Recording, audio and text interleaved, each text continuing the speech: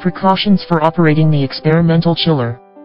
The operation matters of the laboratory-specific water chiller are as follows. 1.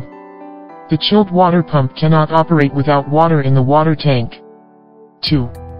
Please try to avoid continuous switching when operating the switch. 3. When the chilled water temperature reaches the set temperature, the compressor will automatically stop running, which is normal. 4. The temperature switch should avoid being set below 5 degrees Celsius to prevent the evaporator from freezing. 5. To ensure the cooling effect and maintain optimal condition, please clean the condenser, evaporator, and water filter regularly. Poor heat dissipation of the experimental chiller and how to deal with it.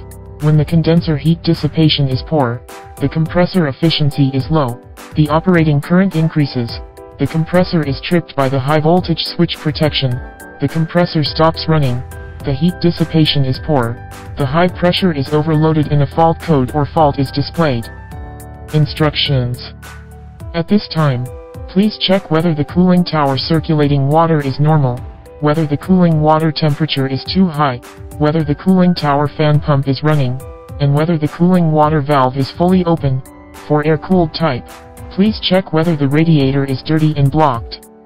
If the above is normal, Press the button again. Press the reset button or shut down and restart to operate normally. If high pressure overload occurs frequently, please arrange to clean the condenser as soon as possible.